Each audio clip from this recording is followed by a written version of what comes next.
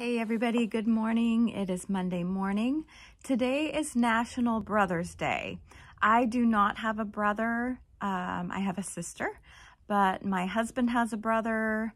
Uh, my sons are brothers to each other. I have three sons, so happy National Brothers Day to them. I'm going to read you a book today. It's pretty funny. It's called Another Brother. It's written by Matthew Cordell. Another brother. That's probably what my kids were thinking. For four glorious years, Davy had a mom and dad all to himself. When Davy sang a tender ballad, Dad cried.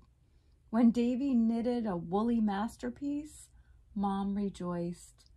When Davy sheared his dandy hairdo, Mom and Dad cried and rejoiced. But things changed. Davy got a brother, Petey. When Davy sang, Petey cried. When Davy knitted, Petey spat up. When Davy sheared, Petey needed potty. And if that wasn't enough, Davy got another brother, Mike, and another brother, Stu, and then another, Mikey, and then another, Carl, and another, Pip, and another, Ralph, and another Tate, and another Lenny, and another Gil, and another Ned, and another Bob. Oh my goodness.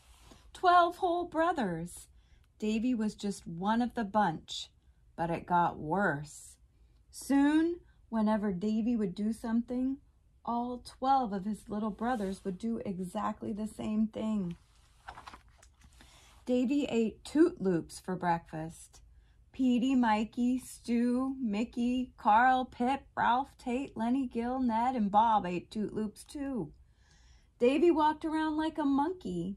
Petey, Mike, Stu, Mickey, Carl, Pip, Ralph, Tate, Lenny, Gil, Ned, and Bob walked around like monkeys too. Davy ran away as fast as he could. Petey, Mike, Stu, Mickey, Carl, Pip, Ralph, Tate, Lenny, Gil, Ned, and Bob chased him as fast as they could. Mom, Davy said. Dad, they keep copying me. Tell them to leave me alone. It's only a phase, Davy, Mom said. Because you're the oldest, your brothers look up to you.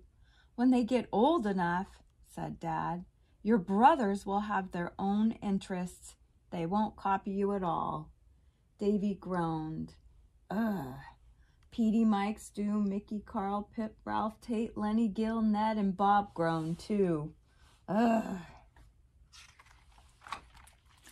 So the copying still happened. Monkey bars, pouting, karate, bicycle riding, burping, yawning, singing. One day, when Davy sat down to breakfast, he stretched but his brothers did not stretch.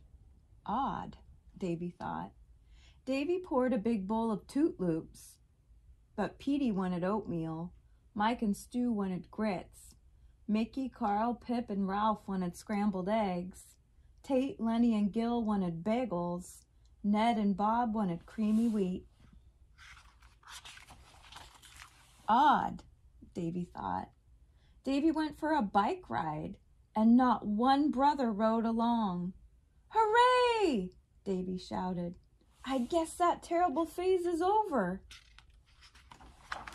So he spent the rest of the day alone, wonderfully, gloriously, completely, utterly, awfully alone. Well, I ended up not liking that. Maybe he could play with his brothers. Petey, Mike, Stu, and Mickey were playing blocks but that was for little sheep. Carl, Pip, Ralph, and Tate were snacking on bananas. Davy didn't like bananas. Lenny, Gil, Ned, and Bob were watching Baby Dude.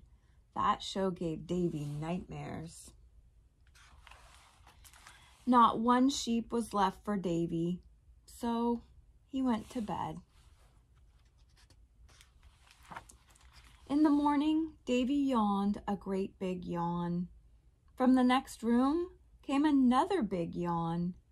When he banged his elbow in the bathroom, Davy yelled, Honkin' plugger! From the next room came a little voice. Honkin' plugger? Davy started a song, a tender ballad. Ba, ba. When outside the bathroom came another voice, singing the same tender ballad. Could it be another? My darling you, it was a sister. And Gertie copied Davy's every move. So no more brothers, he had a sister now. And he seemed pretty happy about that. So that is another brother. Happy National Brothers Day if you have a brother. Um, I will be back to read another special book in a little bit. But I hope you guys have a great Monday and I'll see you later. Bye.